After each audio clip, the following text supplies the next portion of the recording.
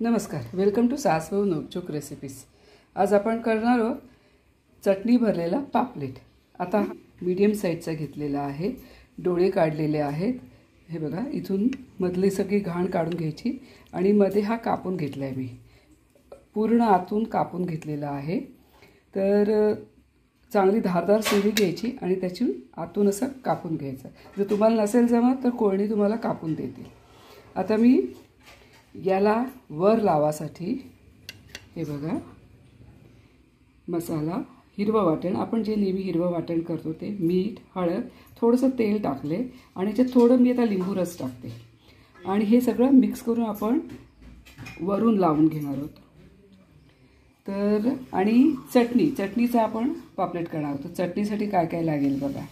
कोथिंबीर मिरच्या लसूण थोडंसं आलं जिरं मीठ नारळ. आता हे नारळ जर तुम्हाला ओला नको असेल सुका पण घेऊ शकता. आणि लिंबू. आता हे वाटून मी पाणी खूप टाकायचं नाही आहे त्याच्यात.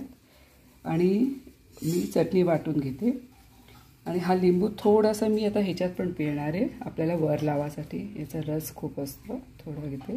आणि हे सगळं मी वाटण एकत्र करून एकत्र करून पापलेटला बाहेरून लावून घेणार आहे. त्यात मीठ वगैरे सगळं बघा तेल टाकलं ना तर ते थोडं चिकटून राहते म्हणून तेल टाकायचं. आणि तळायच्या वेळेला आपण थोडासा रवा आणि तांदळाचं पीठ घेणार आहोत. असं सगळीकडे चोळून चोळून लावायचं. आणि हे ना इथे इथे पण थोडंसं लावायचं. आता आत आपण चटणी घालणार आहोत त्यामुळे आत लावायची काही गरज नाही. पण आज जर तुम्हाला पाहिजे असेल तर थोडंसं लिंबू हळद आणि मीठ लावू शकता. असं लावून हे जरा वेळ ठेवूया. आता आपण तोपर्यंत चटणी करून घेऊ. असं खूप छान लावून घ्यायचं. आहे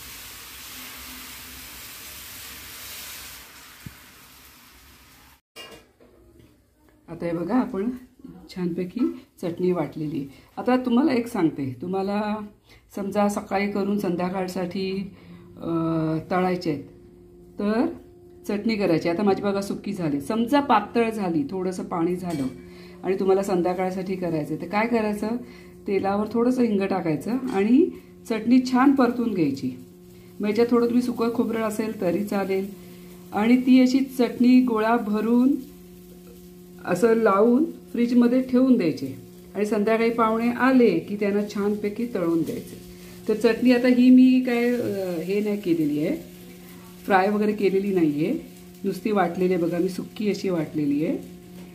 आणि हे अं, तळाला मी रवा आणि तांदळाचं पीठ. बारीक रवा असेल तर चांगला आता माझा थोडा मिडियम रवा आहे. आणि हे तांदळाचं पीठ आहे. आता हे लावून याला जवळजवळ अर्धा तास झालेले आहे. आता मी हे भरायला घेते पापलेट. आता पापलेट कापताना बघा आतून पूर्ण असा बोट गेलं पाहिजे. हे बघा दिसते तुम्हाला? पूर्ण असं छान कापलं गेलं पाहिजे. दोन्ही बाजूनी मी असं छान एकदम खालपर्यंत गेलं पाहिजे. म्हणजे याच्यात चटणी चांगली भरली जाते हे बघा. आहे ना? त्याच्यासाठी धारदार एकदम धारदार सुरी घ्यायची. तर आता मी ही तुम्हाला भरून दाखवते.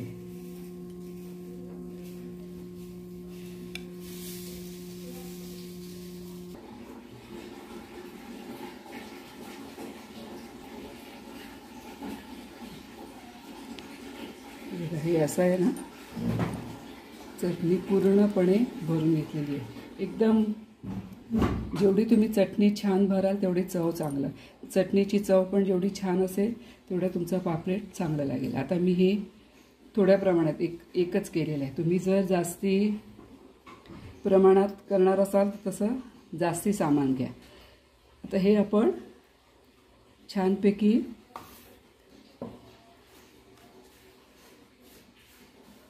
बघा एका बाजूने मी असं लावून घेते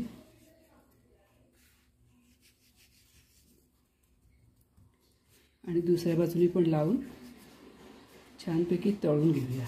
एकदम क्रिस्पी की ते तेलावर सोडून दुसऱ्या बाजूने लावायचं.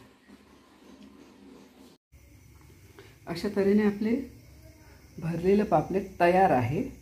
आणि सगळ्या बाजूने क्रिस्पी करा. एकदम मोठा गॅस ठेवू नका. मीडियम ह्याच्यावर किंवा मंद ह्याच्यावर पापलेट मस्तपैकी तळून घ्या. तर आणि चटणी जर खूप छान झालीच आता हा खायला पण खूप सुंदर अप्रतिम लागेल. तर तुम्ही बघत राहा सासभाऊ नोकझोक रेसिपीज आणि मी सांगितली तशीच चटणी बनवून तुम्ही ही करून बघा. आणि आवडला तर मला नक्की लाईक करा. तर बघत राहा सासभाऊ नोकझोक रेसिपीज